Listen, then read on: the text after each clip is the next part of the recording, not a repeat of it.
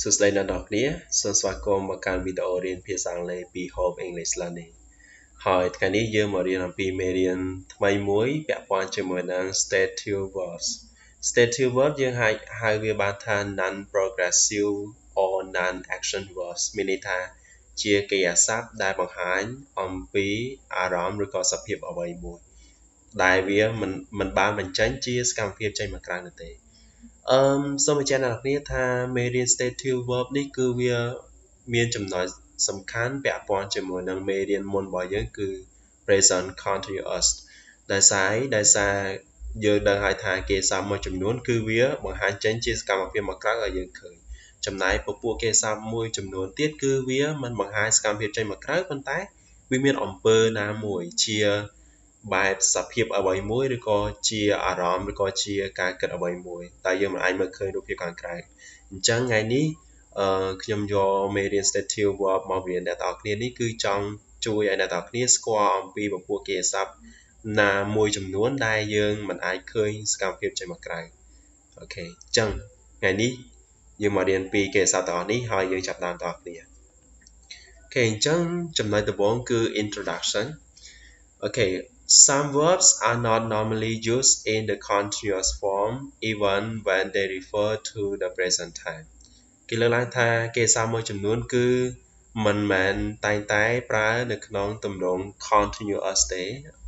ទោះបីជានៅពេលដែលប្រយោគទាំងអស់ហ្នឹងឬក៏គេស័ព្ទទាំងអស់ហ្នឹងសំដៅទៅលើកាលបច្ចុប្បន្នក៏ដោយ They refer to states and not to action គេស័ព្ទទាំងអស់ហ្នឹងគឺវាសំដៅទៅលើសភាពអ្វីមួយ នេះអ្នកទាំងគ្នាសភាពអ្វីមួយ and not to action ហើយនឹងមិនបានបញ្ចេញជាសកម្មភាពអីទេអូខេអញ្ចឹងទាំងអស់នេះអ្នកទាំងគ្នាបានមើលឃើញហើយថាអូខេ stative verb ជាទូទៅគឺអត់នៅក្នុង continuous form ទេមិនមែនថាអត់សោះទេមានករណីមួយចំនួនដែលយើងអាចប្រើបានប៉ុន្តែភាគច្រើន normally ជាទូទៅឬក៏ភាគច្រើនហ្នឹងគឺគេមិនសូវប្រើនៅក្នុងទម្រង់ continuous form ទេ អញ្ចឹងយើងមកមើលតើអរគ្នាអូខេតើតើ stative verbs ហ្នឹងមានប្រមាណប្រភេទហើយវាមានអីខ្លះក្នុងហ្នឹងអញ្ចឹងចំណុចដំបូងគឺ kinds of as um, stative verbs ប្រភេទរបស់ stative verb ទី1គឺ verbs of thinking and opinions នេះថាពពួកកិរិយាសព្ទទាំងឡាយណាពាក់ព័ន្ធជាមួយនឹងការគិតហើយនឹងគំនិតអញ្ចឹងទាំងអស់នេះគឺជាប្រភេទទី1របស់ stative verbs អូខេអញ្ចឹងមានអីខ្លះ ទី1យើងមាន agree អូខេទី2យើងមាន believes យើងមាន deserves doubt expect forget imagine know notice recognize refer realize remember suppose think ហើយនឹង under understand គេទៅគេចាប់ទាំងអស់នេះគឺចាត់ទុកនៅក្នុងក្រុមទី1គឺក្រុម verb of thinking and opinions ឥឡូវយើងមើលឧទាហរណ៍អឺឧទាហរណ៍នេះគ្រាន់តែជាគំរូនៃការប្រើប្រាស់ចំពោះ stative verb ហើយអ្វីដែលមិនគួរប្រើOkay អញ្ចឹងយើងមើល I know what she is trying to do អញ្ចឹងនេះគឺជាប្រយោគត្រឹមត្រូវហើយគេស័ព្ទ knows អូខេ know កន្លែងនេះគឺយើងប្រើនៅក្នុងការ present simple ហើយយើងមើល not អ្វីដែលមិនគួរប្រើគឺ I'm not knowing what she is trying to do អញ្ចឹងកន្លែងនេះគេទៅសរសេរជាទម្រង់ present continuous ដែលជាប្រយោគអត់ត្រឹមត្រូវទេដោយសារគេសាប់ no វិញ no វិញនេះគឺមិនត្រឹមត្រូវទេអូខេយើងមិនប្រើគេសាប់ no នៅក្នុង continuous form ទេទី2 I don't understand what you say អូខេ I don't understand អញ្ចឹងគេសាប់ understand កន្លែងនេះគឺយើងប្រើនៅក្នុងតម្រង present simple ធម្មតាចំណែក I not okay i'm not understanding what you say okay នេះគឺយើងប្រើត្រូវទេទី3 she believes in god okay believes កិរិយាសព្ទដែលជា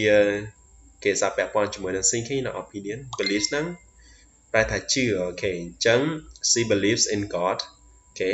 មួយទៀតគឺ they like chocolate but they drink coffee okay អញ្ចឹងយើងមានកិរិយាសព្ទ like ហើយនឹង អូខេគេ supply នៅទីនេះគឺយើងប្រើនៅក្នុង present simple អញ្ចឹងទាំងអស់នេះគ្រាន់តែជាឧទាហរណ៍មួយចំនួន ដែលបញ្ជាក់ថា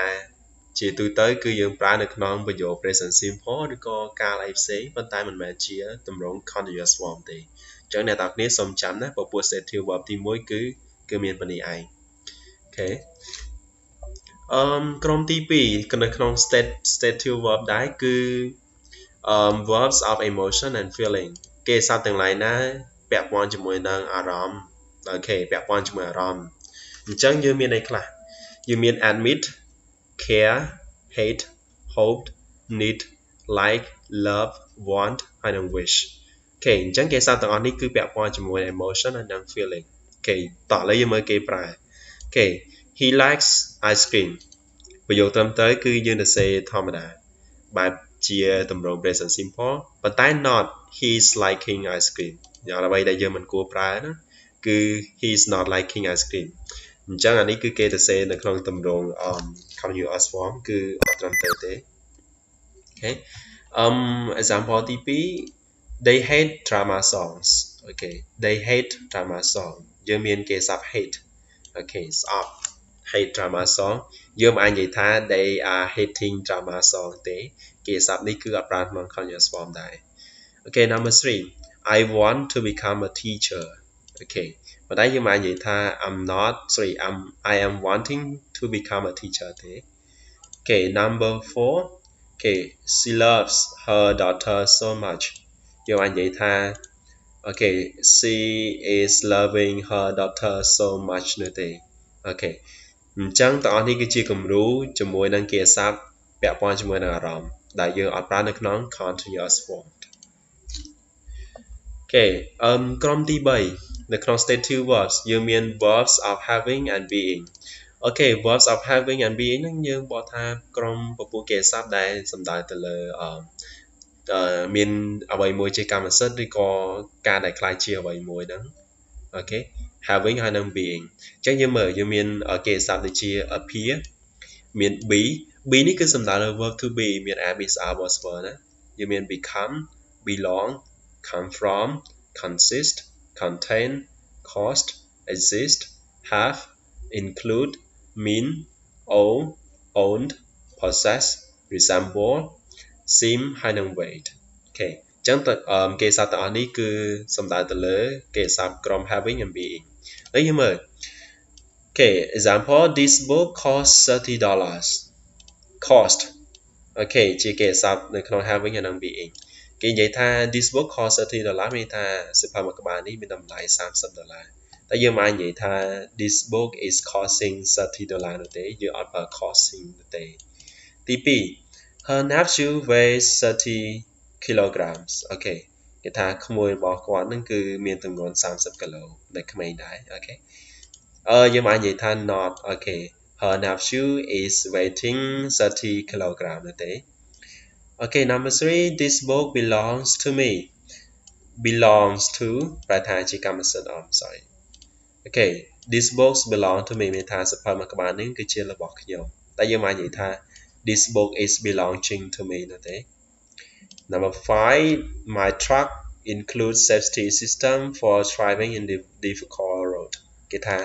អូខេរថយន្តរបស់ខ្ញុំហ្នឹងគឺមាននៅប្រព័ន្ធសុវត្ថិភាពសម្រាប់ការបើកបរនៅផ្លូវលំបាកអូខេតែយើងមកនិយាយថា my truck is including ទេអញ្ចឹង is including គឺ avoid អត់អាចយកមកប្រើនៅក្នុងទំនួល continuous បានទេអញ្ចឹងអ្វីដែលអ្នកទាំងអស់គ្នាគួរចាំគឺកិរិយាសព្ទទាំងអស់នេះ ហើយនៅមានច្រើនទៀតកិរិយាសព្ទច្រើនទៀតយើងអាចយកធ្វើជាឧទាហរណ៍ខ្លួនឯងបាន okay អឺមក្រុមទី4ក្រុមទី4ហ្នឹងគឺ verbs of senses មានន័យថាកិរិយាសព្ទពាក់ព័ន្ធជាមួយនឹងញាណញាណទាំង5របស់យើងហ្នឹង okay មាន okay មាន field អូខេ field ហ្នឹងប្រែថាមានអារម្មណ៍ okay យើងមាន hear ស្ដាប់ឮយើងមាន look មើលយើងមាន smell ហិតក្លិនយើងមាន sound សំឡេងហើយនិង taste ហើយនិងរសជាតិ okay អញ្ចឹងពាក់ព័ន្ធញាណយើងទាំងអស់ okay អញ្ចឹងយើងមើល um I hear what you are speaking យើងឃើញគេសាប់ hear ប្រែថាស្ដាប់ឮ hear what you are saying what you are speaking ប៉ុន្តែយើងអត់ប្រើថា I am hearing what you are speaking ទេអូខេវានេះអត់ត្រឹមត្រូវទេ Okay number 2 the food tastes spicy អូខេយើងអាចនិយាយថា this food is tasting spicy ទេ number 3 you look so tired អឺយើងអត់ប្រើ you are looking so tired ទេហើយខាងក្រោមដូចគ្នា this food tastes amazing អូខេ not this food is tasting amazing អូខេអញ្ចឹងកិរិយាសព្ទក្រុមនេះគឺមានតិចដែរអញ្ចឹងងាយស្រួលដល់អ្នកគ្នាគួរចាំទេអ្វីដែលពាក់ព័ន្ធជាមួយនឹងញាណនៃការទទួលដឹងអារម្មណ៍របស់យើង okay អឺប៉ុន្តែអឺយើងមាន note អូខេកន្លែងគួរកត់សម្គាល់មួយកន្លែងនេះអ្នកទាំងអស់គ្នាគួរចាំណា Some verbs can be used in continuous forms when they describe action not state ចឹងគេថាគេសាមួយចំនួនហ្នឹងគឺប្រើក្នុង continuous form បាន នៅពេលដែលពួកវាហ្នឹងគឺពិពណ៌នាអំពីសកម្មភាពប៉ុន្តែមិនមែនជាសភាពអ្វីមួយអញ្ចឹងដូចយើងបានរៀនចឹង continuous form ហ្នឹងគឺគេអាសាទាំងឡាយណាដែលបញ្ចេញជាសកម្មភាពបានយើងប្រើបានណាអូខេ compare these sentences អញ្ចឹងយើងប្រៀបធៀបប្រយោគខាងក្រោមនេះទី1 he thinks that he can win អញ្ចឹងគេអាសា he think thinks កន្លែងនេះគឺស្មើនឹង believes មានថាគាត់ជឿ អញ្ចឹងគ្រាន់តែជាសភាពអ្វីមួយទេអញ្ចឹងយើងអត់ប្រើនៅក្នុង continuous form ទេប៉ុន្តែយើងមើលគេសាប់ដដែលនៅខាងក្រោម he is thinking about win the winning មានថាគាត់កំពុងតែគិតអំពីជ័យជំនះអញ្ចឹងកន្លែង thinking កន្លែងនេះអត់ស្មើ beliefs ទេគឺវាស្មើនឹង plan ឬក៏ look at idea មានថាគាត់កំពុងតែធ្វើសកម្មភាពរៀបចំគម្រោងឬក៏កំពុងរៀបចំសកម្មភាពមើលបែងចែកគំនិតផ្សេងផ្សេងហ្នឹងហើយអញ្ចឹង ឧទាហរណ៍នៅខាងលើនេះគេ subsync កន្លែងនេះគឺស្មើនឹង belief វាគ្រាន់តែគ្រាន់តែជាសភាពអ្វីមួយឬក៏ជាអារម្មណ៍អ្វីមួយ ខាងក្រោមនេះគឺជាសកម្មភាពផ្ទាល់ដែលគាត់បញ្ចេញចេញមកអូខេអឺខាងក្រោម she has a happy family អញ្ចឹងគេ sub has គឺសំដៅលើ possession មានថាយើងជាកម្មសិទ្ធិអ្វីមួយឬក៏យើងមានអ្វីមួយអានឹងគឺជាសភាពអ្វីមួយរបស់គ្រួសាររបស់យើង ដល់ពេលខាងក្រោមនេះ he is having breakfast with his wife having កន្លែងនេះស្មើនឹង eating ណាគឺមានសកម្មភាពវាស្មើនឹង eating នេះឯងអញ្ចឹងគេយ៉ាសាប់ដូចគ្នាប៉ុន្តែអត្ថន័យនៃការប្រើប្រាស់ខុសគ្នាណាអ្នកនរគ្នាសូមចាំកន្លែងហ្នឹងអញ្ចឹងហើយបានគេនិយាយថាគេសាប់មួយចំនួនគឺប្រើនៅក្នុងទម្រង់ continuous បានដរាបណាដែលវា describe action មានន័យថាវាបញ្ចេញជាសកម្មសកម្មភាព អូខេអញ្ចឹងមេរៀន stative verbs គឺមានត្រឹមប៉ុណ្នេះអ្នកទាំងអស់គ្នាអឺអ្វីដែលខ្ញុំចង់ឲ្យអ្នកទាំងអស់គ្នាអឺត្រូវរៀនសូត្របន្ថែមគឺត្រូវយកហើយនឹងត្រូវស្គាល់ពីក្រុមគីសព្ទមួយមួយតាមក្រុមទាំង4ទាំងទាំង4នៅក្នុង stative verb យកមករៀនមួយមួយធ្វើម៉េចឲ្យពួកយើងមានអារម្មណ៍ថាពួកយើងស្គាល់គេសព្ទទាំងអស់ហ្នឹងអញ្ចឹងនៅពេលដែលយើងធ្វើលំហាត់នៅក្នុង present continuous ឬក៏លំហាត់នៅក្នុងគេ ការប្រៀបធៀបណាមួយពាក់ព័ន្ធជាមួយ state verb នឹងក្តីហ្នឹងគឺពួកយើងអាចដាក់ត្រូវហើយយើងមិនសូវជាមានកំហុសច្រើនហើយព្យាយាមធ្វើព្យាយាមធ្វើព្យាយាមរៀនអញ្ចឹងកាលណាយើងធ្វើច្រើនយើងចាំយើងស្គាល់គេសកម្មកាន់តែច្រើនអូខេអញ្ចឹងសង្ឃឹមថាអ្នកនរគ្នាបានរៀនសូត្រអ្វីមួយពីមេរៀននេះទោះបីច្រើនក្តីតិចក្តីតែសង្ឃឹមថាអ្នកនរគ្នាអាចអភិវឌ្ឍនៅជំនាញភាសាអង់គ្លេសបានល្អជាងមុនហើយ ជួបគ្នាជាមួយនឹងវីដេអូលើកក្រោយខ្ញុំនឹងធ្វើជាវីដេអូពាក់ព័ន្ធជាមួយនឹងលំហាត់នៅក្នុងការ present continuous អញ្ចឹងបើអ្នកនរគ្នាចូលចិត្តវីដេអូនេះសូមជួយចុច like subscribe ហើយនឹង share ទៅកាន់អូខេអ្នកដតីដើម្បីឲ្យពួកគាត់នឹងបានរៀនសូត្រដូចអ្នកទាំងគ្នាដែរអូខេអញ្ចឹងមានប៉ុណ្ណឹងណាអរគុណច្រើនជួបគ្នាពេលក្រោយ